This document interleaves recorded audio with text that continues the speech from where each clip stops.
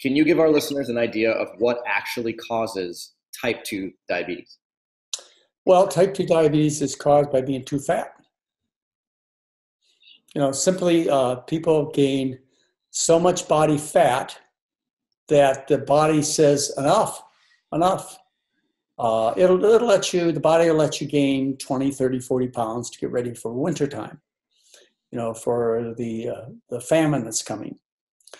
But after, and that's good for survival, uh, is to kind of bulk up some extra calories for the winter. But when you start getting into the 60 plus, 80, 100 pound range of excess weight, body says, that's not so good. Uh, this is not a survival benefit to be that fat. You can't get up the tree to get away from the saber-toothed tiger. You can't get in the cave anymore. You're too fat. And so it develops insulin resistance. Insulin pushes fat into fat cells. Uh, the uh, insulin uh, becomes less sensitive as you increase body fat because what doesn't want you to get in a situation where you would develop, uh, you just become obese and you can't function. So it stops functioning well, the insulin does at the peripheral tissues. And at the same time, uh, as it decreases the ability of the body to store more fat, as you develop insulin resistance, you know, the goal is to not become obese, uh, the insulin isn't as effective at putting, pushing glucose into cells. And so the blood sugar goes up. And uh, the, of course, best way to lose the fat is to fix the problem. And the problem is food. So there are uh, two categories of food poisoning to help people understand. Just like if somebody's a smoker, you say the way you solve the problem is you quit the two packs of Pall Malls a day. They say, uh huh, I understand. Or if they're drunk, you say you stop the half a bottle of gin a day. Uh huh, I understand. And they can do it when they're ready. But when you tell people they need to eat better, as uh, typically is done, uh, you tell them things like, you know, skin your chicken and skim your milk and cut down on your portions and all kinds of things. And people don't get that.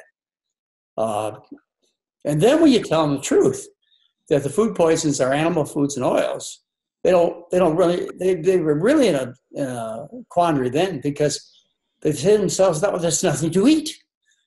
What am I going to eat? And then they find out what the truth is. And I brought that out in well, many books. I've written 13 books. They've all said the same thing is that the human being is a starchitarian a starch eater, a starchivore. And uh, all large successful populations of people throughout all verifiable history have lived on starch based diets. Like, for example, the Aztecs and Mayans were known as the people of the corn. For 1,300 years, these populations lived on corn as their basic diet. And you think of Asia, the diet is uh, rice. Before 1980, when they're eating 90% of their diet is white rice, until now, they've changed from essentially zero diabetes and obesity to a population where over 12% of the people in China have diabetes and half are pre-diabetic. And so it's been throughout all history. Is uh, most of the common people, the workers, the soldiers, they lived on rice, corn, beans, potatoes, and the rich folks, uh, they would filter their food through a pig or a cow, and they wouldn't eat the natural starch; they'd eat the pig and cow. And uh, that's just not for human beings. So as a result of eating the wrong food, the poison, uh, they become sick with obesity and type 2 diabetes and uh, you know, all, kinds of problems. Just look around you.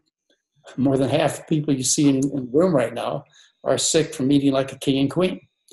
And the way you solve the problem is you just change it back to the human diet, which is a diet based on starch.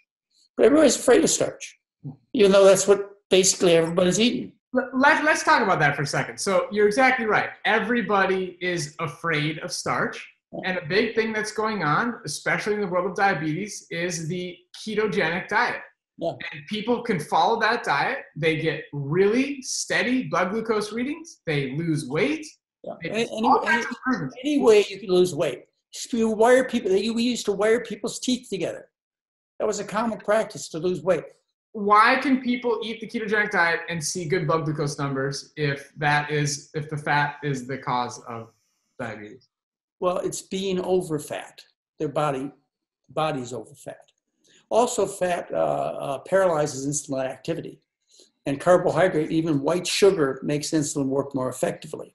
So it's, it's that part, but it's just you know being over overweight that causes it. As I say, bariatric uh, surgery studies that have published many places, including JAMA, show about an 80% cure rate from just uh, rearranging their uh, intestinal tract and causing them to lose weight. And yeah, it can be permanent because you know if you take part of your intestinal tract out or in some other way rearrange it, you become permanently sick and uh, you lose the weight permanently. So that's one way to cure diabetes. Yeah, but uh, unfortunately, the ketogenic diet actually is becoming uh, is pushed really hard, including by the American Medical Association, and people buy into it because uh, they like uh, pork chops, as long as you cook them. They won't eat that pork piece if you don't cook it, and you got to put barbecue sauce on it. Otherwise, it's too disgusting. But here, this is the January 16, 2018 issue of JAMA. And uh, that's an article. I was going to sleep last night and just happened to be reading JAMA. It says interest in ketogenic diet grows for weight loss and type 2 diabetes. Well, that was last week. When I wrote uh, the last book, probably the last book I'll ever write, it's called The Healthiest Diet on the Planet. It's a good book. It's real simple, lots and lots of pictures. Uh, I started the book out. Let's see if I can find the page. There are lies and damn lies is the first chapter. And what it says is damn lies harm the public and planet Earth. In June 2015, the Journal of the American Medical Association, in a reckless opinion piece, called for the U.S. Department of Agriculture and the Department of Health and Human Services to remove an upper limit of intake of total dietary fat in the most recent dietary guidelines for Americans. That's the 2015 2020 guidelines that we live under right now. Uh, and to my dismay, I wrote as the first part of this book. To my dismay, the authors of the article also applauded the elimination of dietary cholesterol as a nutrient of concern. Well, cholesterol is only found in animal foods, but they're still promoting ketogenic diets, which kill people. And there are still, quote, legitimate doctors out there that are behind this. A diet, as I say, was which was limited once to kings and queens and pharaohs and priests and to Inuit Eskimos.